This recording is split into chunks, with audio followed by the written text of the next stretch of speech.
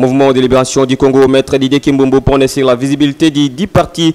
Maître Didier Kimbombo, coordonnateur national des forces One, secrétaire spécialisé du MLC pour le leadership de Jean-Pierre Bimbagombo, se donne corps et âme pour la visibilité du parti cher Charman. Voilà pourquoi il a acheté emballé à Kinshasa de l'eau importa des pièces d'âme et t-shirts et entre parenthèses polo, les drapeaux du mouvement de libération du Congo qui prendront dans les brefs délais la direction des Bumba. Notons que toutes ces choses achetées par Bouemo qui seront distribuées à tous les militants du mouvement de libération du Congo MLC de la province de la Mongala, particulièrement à Bumba dans ces six secteurs. Tout ceci c'est pour montrer combien il est l'acteur majeur qui se donne les corps et âme au plus de sacrifices suprêmes du MLC et de la population de Bumba. Vu la grandeur de ces colis, les moyens de transport fluvial est préféré pour les ramener à Bumba et distribuer à la population de Bumba qui soutient la vision de Japer Bimba Gombo par la tremise des maîtres Didier Kimbumbu Mongayanga dit Bou et Moki.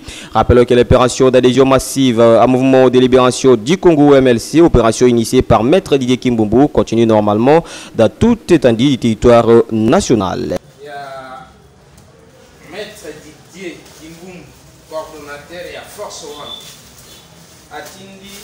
L'eau il y a 500 pièces, il y a un auto chargé pour ekende na base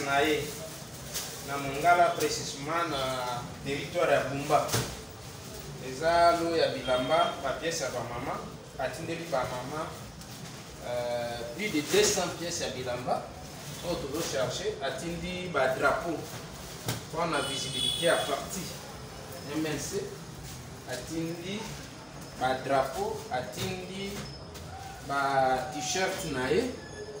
Ya gbemoki maître didier kimbumbu coordonnateur ya force one.